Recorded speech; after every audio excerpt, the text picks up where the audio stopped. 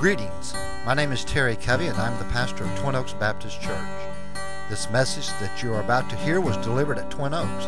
We pray that it will be a blessing to you, and if there are any questions that you may have or any way that we may be of help to you, please feel free to contact us. God bless you and have a great day.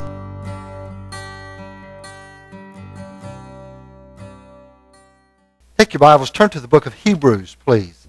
Hebrews chapter 4. We'll start out there this morning.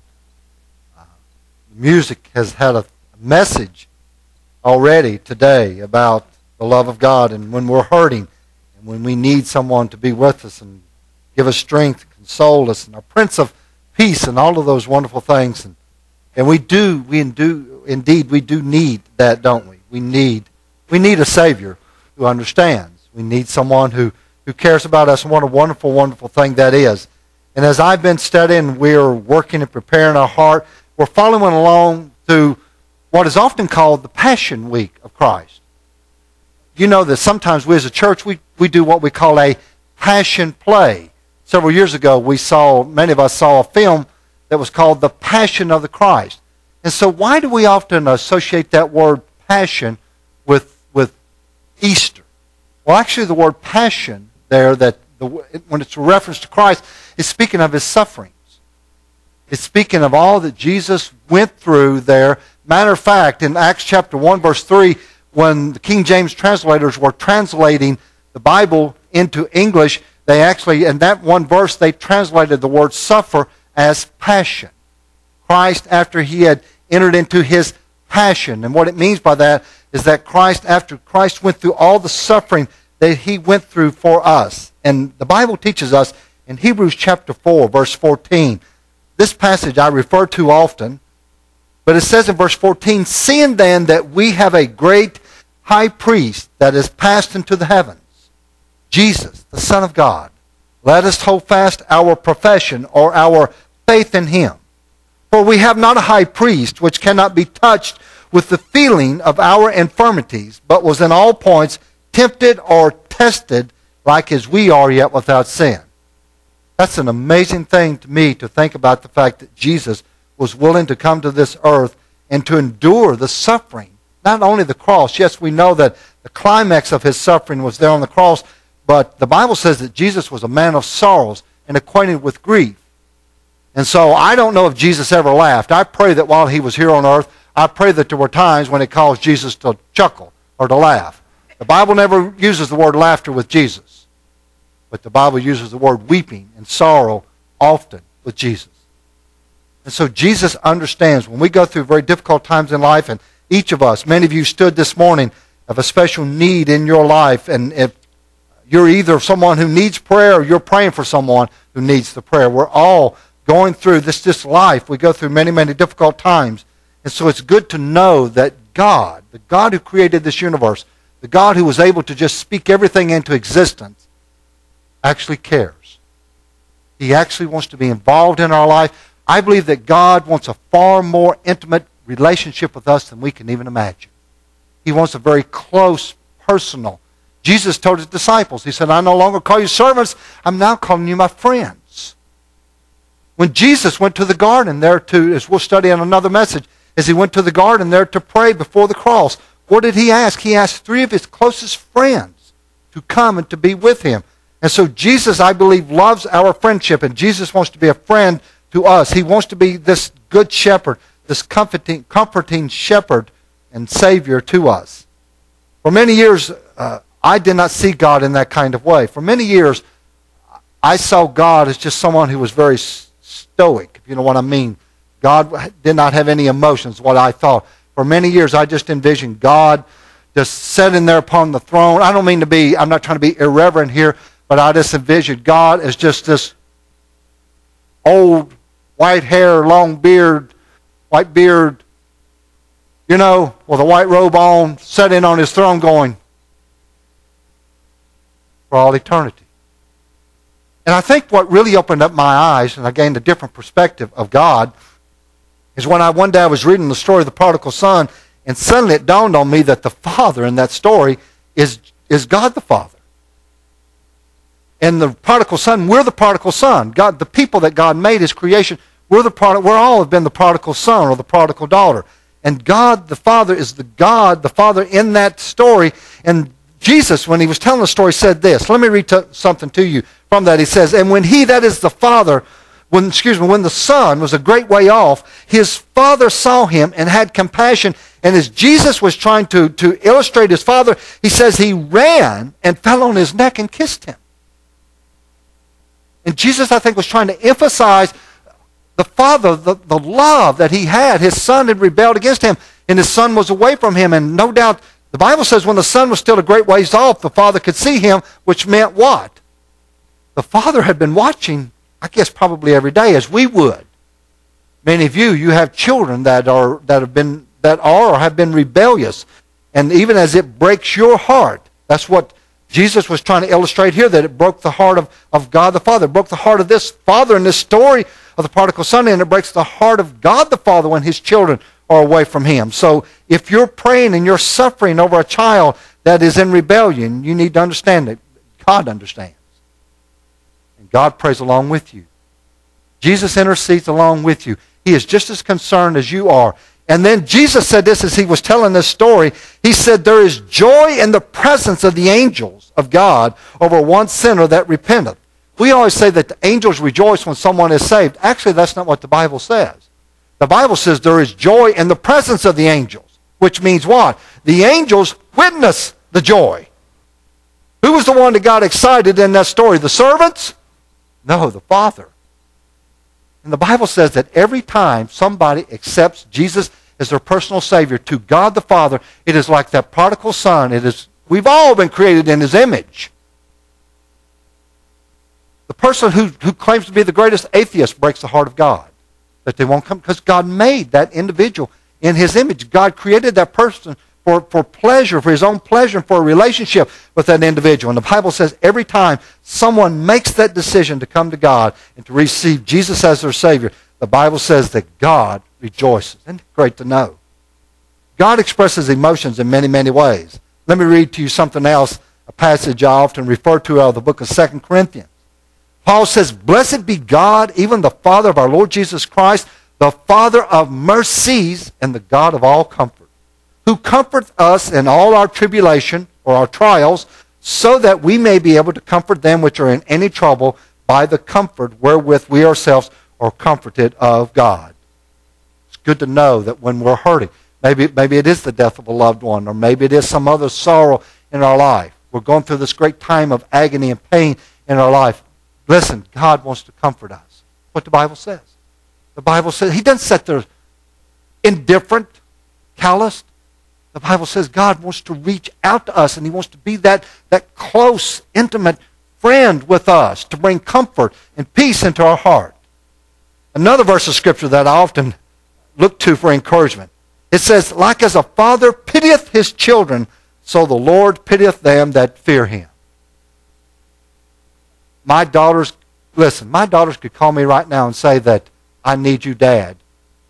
And I don't know what you'd do for the rest of the service. You know what I mean? And you'd do the same thing for your children.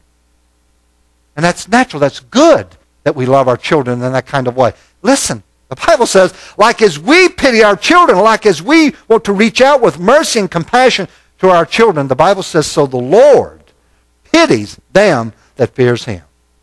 So God is a God who feels, and our Savior is a Savior who feels as well. Matter of fact, during this Passion Week of Christ, if you'll turn to the Gospel of Matthew with me, we're going to study from Matthew 21 today. During this week of passion that we often speak of, of the suffering of Christ, Jesus experienced a variety of emotions.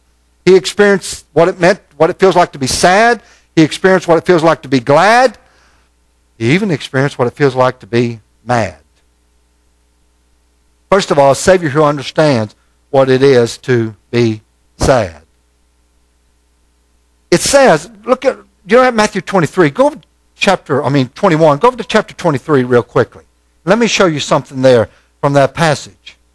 This was the heart of Jesus during that week of passion. Matthew chapter 23, verse 37. Jesus apparently stood off somewhere to the side, and I'm not sure exactly where he was at this moment, but it says in verse 37 Jesus is crying out to the Israel. He said, O Jerusalem, O Jerusalem, that killest the prophets, and stonest them which are sent unto thee. How often when I have gathered thy children together, even as a hen gather her chickens under her wings, and you would not. What's that verse saying to us? That verse is saying that Jesus, he looked, he looked at the Jewish people, and he looked at their rebellion against him, and it broke his heart to see the fact that they would not turn to him. They would not come to him. Matter of fact, Luke's gospel said this. When Jesus, right after he made his triumphal entry, as he was making his triumphal entry, is the gospel of Luke says this, and when he was come near, he beheld the city and wept over it. While all this crowd, we studied about the triumphal entry last week, and while all the crowd was, was cheering and shouting Hosanna and going through all of this, the Bible says that at some point Jesus looked upon the city of Jerusalem and the Bible says that he wept, and the word that is used there means more than just a tear trickled out of his eye. It means that he burst forth in tears. He was overcome with emotion there, and he just started weeping as he was riding in on that donkey into Jerusalem. Why? Well, because he was broken over the fact that they were lost, that they would not come to him. Jesus suffered spiritually during that week of passion. And again, I would say to those of you who who weep over lost loved ones. Maybe it's a child that doesn't know the Lord. Maybe it's a parent who doesn't know the Lord, a brother or sister, or whoever it might be. Let me read to you a verse out of the book of Psalms. He that goeth forth and weepeth, bearing precious seed, shall doubtless come again with rejoicing, bringing his sheaves with him. You'll know something. It is a good thing to weep over the salvation of other people probably there's no time that we're more like our Savior than when our heart is actually broken over the spiritual condition of someone else. And I know that many of you carry a burden for spiritual condition of your friends, your loved ones, your family. I carry, Pastor Zach I know carries as pastors. That's part of our calling into the ministry. We carry a, a heavy burden in our heart. I remember one time up in Ohio, this lady came to me, and, and before, well, I've been, a lot of times I would go outside of the church where it was there. If it was a pretty day, and I would kind of walk out over the field there. I'd always get early to the church. And they saw me one day, and they kind of waved, and they came in the parking lot. And she said, she said, you know, forgive me for saying this, but she said, you look like this morning like you had the weight of the world on your shoulders. And I thought, well, yeah, because my heart breaks for people. It would be my desire that every person that's a member of this church, every person that ever enters the door of this church, it is, I live for the fact of your close relationship with God. That's what my life is really pretty much totally. I probably give 60 or 70% of my week, every week, to this church, to this body of believers, to this community. I carry that burden. And I know that you carry a burden. And listen, when we carry that burden for the lost, when we carry a spiritual burden, when we suffer spiritually, and really, I don't know that we can really intercede for people in prayer until we suffer spiritually for them. I remember a friend that we had in Ohio one time, and her husband left her and moved in with another woman. And rather than just becoming angry over this, and I'm sure that she was hurt, I'm sure there were moments of anger, but she went to fasting. And she spent two or three weeks in fasting and praying for her husband. He came home. I'm not going to say that's going to happen every time, but, but it's a good thing to, you know what I'm saying? Suffer spiritually for people. That's really intercessory prayer. And Jesus understands what it is to be sad, to suffer spiritually. Not only that, Jesus understands what, obviously what it's like to suffer physically. We know about the crucifixion. We'll study more about that later. But let me read to you just one verse out of the book of Isaiah it says in the book of Isaiah, many were appalled at him because he was so disfigured that he didn't even see, seem to be human and simply no longer look like a man. I know this sounds kind of silly, but uh, which I, I go to the greatest dentist in all the world, Tony, especially you know, and I, I don't have the greatest teeth in all the world, so it's good to have the greatest dentist, you know. Because every once in a while he's got to do a little work on my teeth. And oh, don't you hate it when they pull out that syringe, you know? But I really never feel it. You know, he is so good with that. But I tell you, I know it sounds silly, but you know what I think a lot of times when they get ready to put that needle in my mouth? Oh Lord, I know that you suffered on the cross. what I'm saying? I know I can bear this. Listen, friends, when we go through physical suffering, when we go through those moments, and I think about people, every time I hear someone who has cancer or something like that, and I think about the physical suffering, I think about the nausea. Some people have never thrown up in their whole life. If I even think about it long enough, I'll get, I'll do it. And I think about that, that nausea, and I think about what people, and it breaks my heart for what they go through. But you know, it's good to know that Jesus understands. He understands the physical suffering. He's a companion with them during that time of physical suffering. But the Bible teaches us there's another way that Jesus un- that suffered that week. Perhaps it's a way that we don't often think about. Jesus suffered spiritually and he suffered physically, but Jesus also, also suffered emotionally. Sometimes emotional suffering is some of the greatest suffering that we can endure. And it says again in Hebrews chapter 4 verse 15, it says that he is touched with the feelings of our infirmities. What does that mean?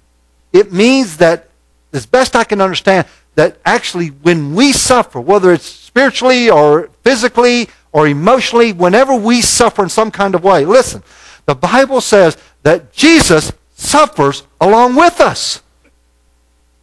It's not just that he thinks back, oh yeah, I remember going through that. The tense of the verbs and the way that it's written there in the book of Hebrews seems to indicate that as we, isn't that amazing? For 2,000 years, Jesus has been suffering for his church. He suffers along with us. He feels that kind of pain as we feel that kind of pain. And so therefore, when he prays for us, when he intercedes for us, he truly intercedes with a heart of love. Jesus understands. He understands what it's like to be sad. But here's something else amazing about Jesus. Verse 12 of Matthew 21. And Jesus went into the temple of God. This is on the evening of when he rode in the triumphal entry. Jesus went into the temple of God, and then he cast out all that sold and bought, the, bought in the temple, and overthrew the tables of the money changers and the seat of them that sold doves. And he said unto them, My house shall be called a house of prayer, but you have made it a den of thieves. Jesus understands what it's like to be sad. Jesus understands what it's like to be mad. Sometimes we think of mad, somebody being mad, we think always of mad or anger just as being sinful. And we know that anger can be sinful. But not all anger is sinful. The Bible says in Hebrews, or excuse me, Ephesians chapter 4, verse 26, Be ye angry and sin not. If someone broke into my house and if someone harmed my wife or someone harmed my children, do you think that would make me mad? That would make me very mad, as it would make you very, very mad. It would make you angry for them to do that. And it would not be wrong for me to be mad over that if something was wrong. What it would be wrong for me to get a gun and then try to retaliate against, get revenge against that person. The Bible says, Be ye angry, yet sin not. So there is, there is what the Bible often, well, the Bible doesn't use the term, but we use this term to explain it righteous indignation. I'm sure you've heard that before. What is righteous indignation? Well, the word indignation means wrath or anger. Righteous. There can be a righteous kind of anger. Matter of fact, most of the time that the word anger is used in the Bible, it's used in reference to God. God gets angry over things. What does God get angry over? Well, this phrase, righteous indignation, refers to any time there's a sense of something that is a mistreatment or an injustice. God gets angry over that. I get angry over our country at times. I'm sure you do as well. I get angry over the things that sometimes you turn on the television and you see.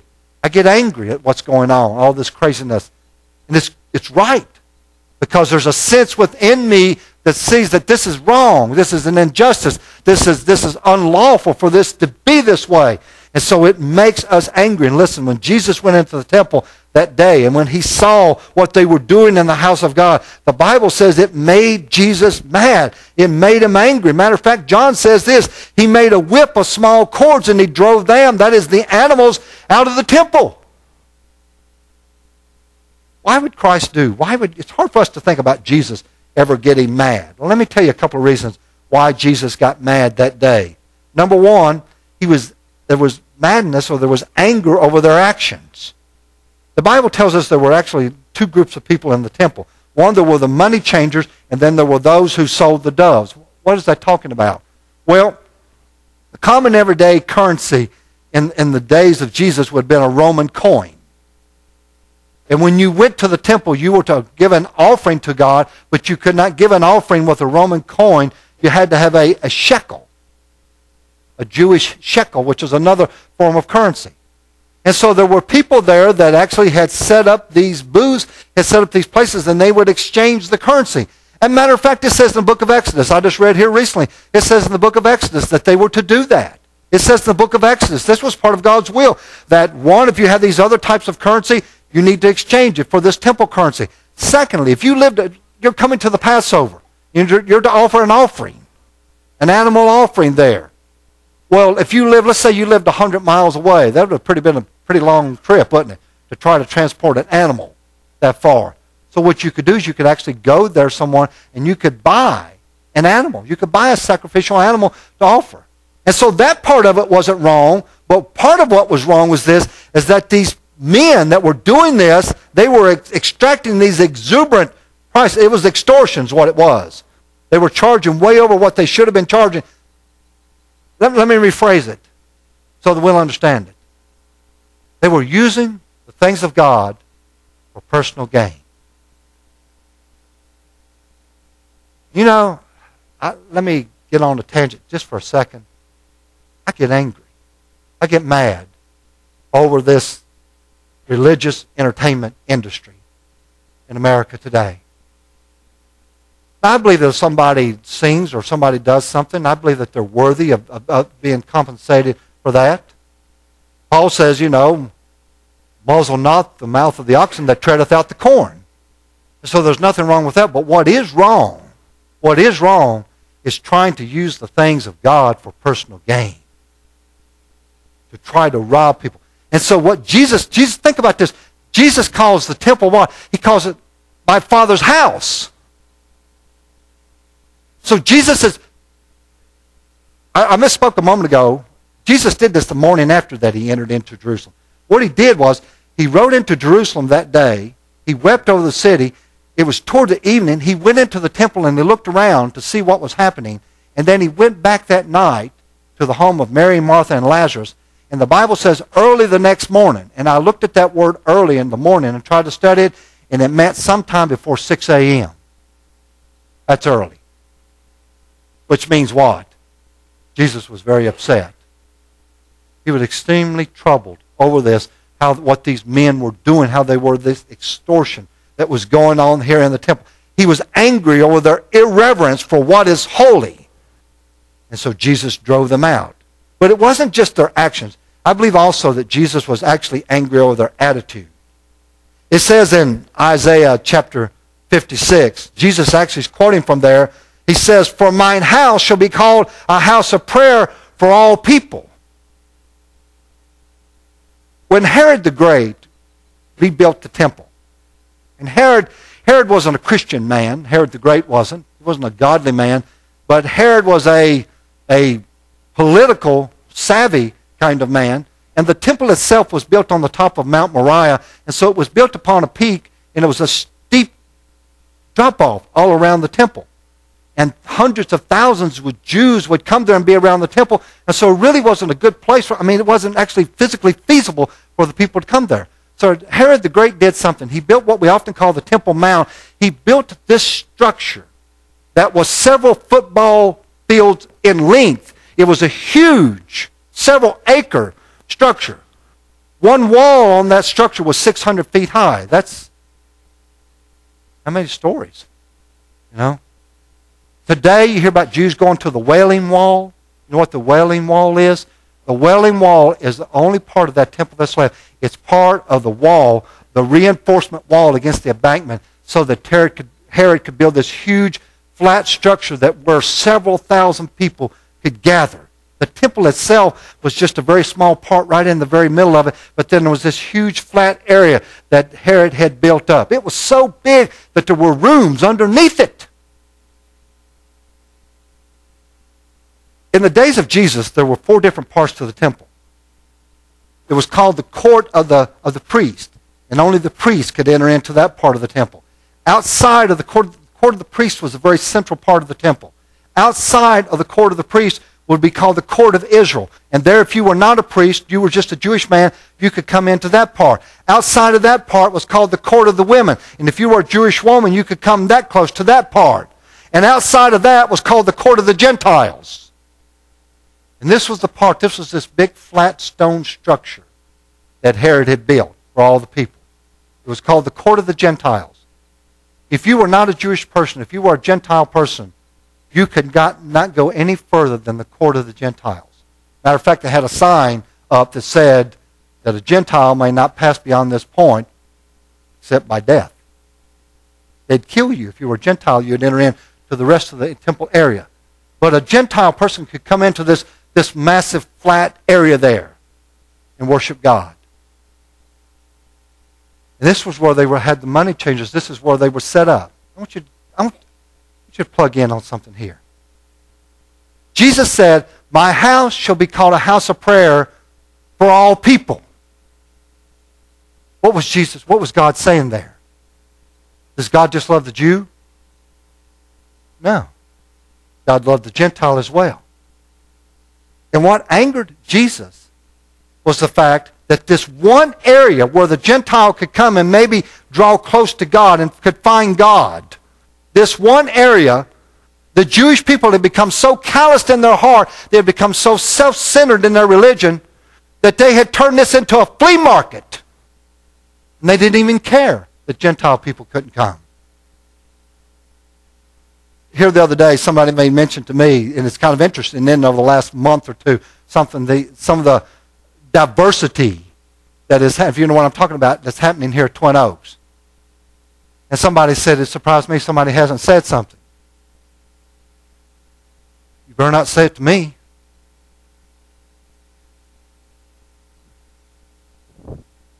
Because God loves all people. Amen? That's a lesson we need to learn in this world, and it's good to hear your amens to this. So Jesus Jesus understands what it's like to be sad. And Jesus understands what it's like to be mad. There are things that happen in life. I'm sure that some of you, there's something that's happened in your life, or maybe it's going on now, and there's an injustice. There's a mistreatment. There's something that's just wrong. And you know that it's wrong. And in your heart, there's a madness, there's an anger. That, that anger is not necessarily wrong. It could be wrong how you react with it, what you do with it. But when there's an injustice, when there's something that's wrong, Jesus understands that. And I would encourage you, sometimes I get mad. Do you ever get mad? Sometimes, I know you do, Pansy, so go ahead and, no, I'm, I do. I get mad. I do too. I get mad. And what I've learned to do when I get mad, I go to the Lord in prayer. I ask the Lord to help me to deal with my anger. Help me to deal with this situation, whatever it might be. But lastly, we have a Savior who understands what it's like also to be glad. We have a happy Savior. Verse 21, verse, 4, or verse 14 of Matthew 21. After Jesus has cleansed the, cleansed the temple, notice what the Bible says. And the blind and the lame came to him in the temple, and he healed them. Once Jesus had purged the temple area of all of the impurity of what was going on, then those that he had come to save and to seek, those who really had an open heart and needed him, the Bible says they came into the temple and he began to heal them. I, here's what I imagine. I don't know if this has happened, but Jesus drives them out, and they're picking. Then the money changers and the people they're picking up their stuff, and they're they're work, they're working their way out, and they're leaving. And probably at that point, maybe Jesus has got a frown on his face. But then he looks over and he sees a very poor person or a very sick person, and probably that frown turned into a smile. And Jesus said, huh, "It's okay." You are welcome in my Father's house. What a blessed time. Kind of puts chill bumps on me to think about. What a, what a refreshing time that must have been for Jesus when these hungry people came to him. Friday night, several of us had an opportunity to go to a Phillips Craig and Dean concert. And uh, I noticed there, you know, I kind of sat over there to the side a little bit on myself, and because I, I love you all that went, but I just want I just want to be me and God there for a while. And so, you know, it took a few songs for my heart to get soft, you know, again, to where it wanted to be, it needed to be, to worship. And, and I really started worshiping. Some of the songs uh, that we, they sang that night was so, so powerful. And so I was standing, I'll be honest with you, I'm standing there like this, and I don't care if anybody's looking or not you know, and I'm worshiping God. And then I looked around and I saw people everywhere doing that, and I thought, there are people hungry for God. Last night, uh, Tammy and her brother Mike came back for a while and uh, to kind of refresh. They've been up there since Wednesday with her mom. And so last night I met them in Roanoke and I brought Tammy back, and we were. She was just, you know, telling me a week's worth of stuff there on the way home, and and then we were talking about this, and she said, "Well, she said, how did your week go?" You know, she said, "How did that? How was the concert?" And I thought I said, "There are people that are hungry for God." You know what Tammy said? She said, "There are people that are hungry for the goodness of God." I thought, "Isn't that wonderful?" Yeah. People hungry for the goodness of God, and what a blessing! I'm sorry, but I got chill bumps on me to think about what a blessing it must have been for Jesus after this moment of anger having to deal with all this callousness. To turn around and to see these people with just nothing, broken with nothing, coming to him.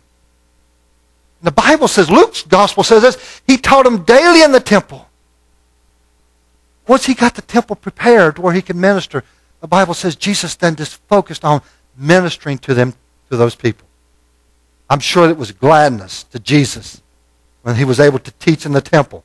But not only did the teaching in the temple bring him gladness, I'm going to say also the tenderness of the children. Look at verse 15.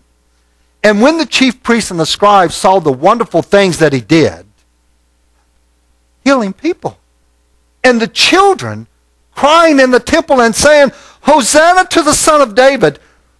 The word there for children means very small children. They, the priest, were displeased. And they said unto him, Hearest thou not what these say? Jesus said unto them, Yea, have you never read? Out of the mouths of babes and sucklings thou hast perfected praise. That's in Psalm 8 2. I studied Psalm 8 2 this week. What it seems to say is that God was the one who put that children's choir together that day to come and sing to Jesus. Some people say that it would be the children of those that Jesus was healing. Some people would say it was the children of, of the pilgrims who'd been traveling in with Jesus on this the triumphal entry. They had heard their parents singing it. I don't know who the children, who they were. What a blessing it must have been to Jesus to hear these children singing in this innocency and this simplicity, singing to God. You know, the Bible doesn't say that a child has to become like an adult for God. The Bible says adults have to become like children to please God. As a matter of fact, oftentimes, Jesus, when he talks about the little ones, what seems to happen is that Jesus starts out with a little child and using a little child as an illustration as a little child, and then he starts talking about little ones, and the phrase there, little ones, doesn't necessarily mean children. It means adults with childlike faith.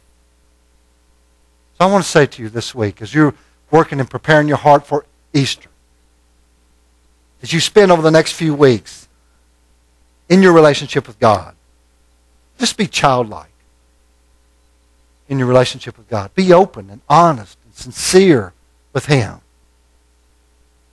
I, I am still amazed that God wants to be close to me. I'm amazed that in the middle of the night that I can have God's undivided attention and just talk with him as one person. The Bible says as a man would talk with his friend to be able to talk with God that way. There's one last thing I believe that brought Jesus gladness, and he understands what it's like to be glad, and because he was able to spend some time actually with his friends. Look at John chapter 12. Flip over there quickly to the Gospel of John and John records something that happened that I believe was very, very special to Jesus, and I believe it's something that we can learn from in John chapter 12. This actually happened on the Saturday night before the triumphal entry. John chapter 12, verse 1. Then Jesus, six days before the Passover, came to Bethany, where Lazarus was, which had been raised from the dead. Excuse me, where Lazarus was, who had been dead, whom he raised from the dead. And there they made him a supper. I believe that probably Mary, Martha, and Lazarus loved Jesus as much or maybe more than anyone else. And I don't believe that Jesus had favorites. But I'm sure that probably Jesus was drawn to them more than anyone else. You know, there's, there's some people that you just like to be around, don't you? There's some people that will just, you know, Adrian Rogers used to say there's some people who will brighten a room when they leave it. But there are other people, you'll figure that out in a minute. But there are other people that you just love to be around you love that relationship, that fellowship with them. And I believe that Mary, Martha, and Lazarus were three of the people that Jesus actually loved to be around. And what the Bible seems to indicate is during that Passion Week, Jesus would go into Jerusalem and he would minister there into Jerusalem, but somewhere around sunset, he would travel back to Bethany, which was only a couple of miles away. He would travel back to Bethany and he spent each night in the early part of the week in the home of Mary, Martha, and Lazarus. Actually, when they have this supper, he's in the home of another man by the name of Simon, who the Bible says once was a leper. And so Jesus, think about this. Jesus is getting ready to enter in to the, the most difficult week of his entire life. His week of passion, his week of suffering. And in order to help prepare himself for that, and in order to continually refresh himself and to find the strength that he needed to do what he was going to have to do that week, listen, Jesus would go and be with his close friends. I would love to think that if I had been living there in that day and time, that Jesus would want to have come and spent some time in my home. I would love to think that I had a close enough relationship with the Lord that, that He would feel welcome in my home. Think about this that the Savior would find refreshment in going and being with His friends. I would love to be that kind of friend with God. To give Him, not only get refreshment from Him, but to give refreshment to Him. You know, Mary, Martha, and Lazarus and Simon, they can teach us something about a relationship with God. Simon, the leper, Simon had been healed. Simon has, why do you think Simon had Jesus into his home that night? Here's what I imagine. Forgive me, I, I add a lot in my mind in the Bible. The man's been a leper most of his life. Doesn't even mention anything about his wife. So what do you think, what do you, kind of home do you think Simon the, the leper had? Probably wasn't the nicest home in the town, was it? Probably wasn't the cleanest home in the town. And here's what's an interesting thing. It says, at verse 2, and Martha served. What kind of woman was Martha? You think Martha's home was clean? Oh, great day. And so don't you imagine that it was probably pretty hard for Martha to be willing to go to that home and eat a meal? Simon, tell you what, Simon, let's just, just have it in my home. Please, Martha. Please. I know, but please, Martha. It would mean so much to me. You know, probably Martha realized that Jesus was probably more concerned about the cleanliness of the heart than he was the utensils. And, and here's what I, I would say that Simon would teach us about relationship with God gratitude. That's the word I wrote in my notes. Gratitude. I bet the man was just so, he's been a leper. Now he's healed. And probably so grateful. But then there's Martha. What would Martha teach? The Bible says Martha served. We know that Martha was, you know, we often call it the Martha syndrome. Some of us have the problem with the Martha syndrome. You know what that is, don't you? You're, you know, Lord, get them to help me. The Martha syndrome. But the Bible says that Martha served that night. Do you think she was sinning in her serving? No. I think probably Martha had a change of heart. The Bible says, serve the Lord with gladness. The Bible doesn't say don't serve the Lord. The Bible says serve the Lord. But just do it with the right attitude. And so probably that night, rather than being, you know, the person that had to have everything exactly in order, I would imagine Martha that night was a servant. Lazarus, the Bible says, Lazarus sat at the table. Why Lazarus? Why is that so important? What had Jesus done just previously for Lazarus? Raised him from the dead. The Bible, listen, the Bible says that when Jesus was making that triumphal entry, part of the multitude that was traveling with Jesus into the city that day was those that had come to the home of Lazarus to actually see is he actually you mean tell me you were dead? Really? Dead? And you're alive? And the Bible says many of the Jews believed on Jesus after they saw what he had done for Lazarus. What's Lazarus? Lazarus is a testimony. Then the last person. I need to end this, don't I? Verse 3. Mary. I don't I imagine Mary is probably a teenage teenager. Then Mary took a pound of ointment of spikenard, very costly. It was a year's wages. Here's what I've often imagined it was her dowry, it was her future. She took this pound of ointment of spikenard, very costly, and anointed the feet of Jesus and wiped them with her hair. Warren Wiersbe says every time you'll look for Mary, you know where you'll find her? At the feet of Jesus. And matter of fact, the Bible says that it filled the house with the, the fragrance, the odor, the fragrance of the ointment. And Judas is going to criticize her for it. And Jesus says, She's anointed me for my burial. Mary was probably the only one who really understood what was going to happen. She might have been the youngest in the entire bunch. But she understood what was about to happen. Why did Mary understand? Because she spent a lot of time at the feet of Jesus worshiping Him. A lot of you are going through difficult times in your life. You're going through, I don't know what it might be. It might be a time of sadness. It might be a time of madness. Or if you're at a point now where you can enjoy gladness, I would encourage you in your relationship with God to draw close to Him wherever you're at. Learn this as we study about Jesus in this week of Passion. Take these principles and apply them to your life. And I trust that the Holy Spirit will do that this morning. Let me read to you once again from the book of Hebrews.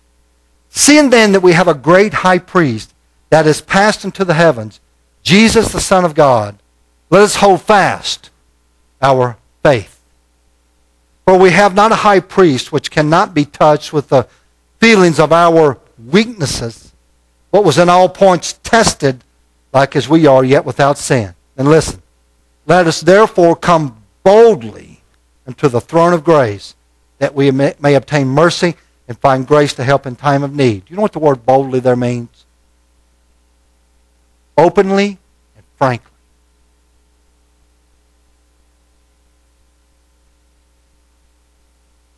The Bible says that we're whatever it is that we're going through life, whatever our need is.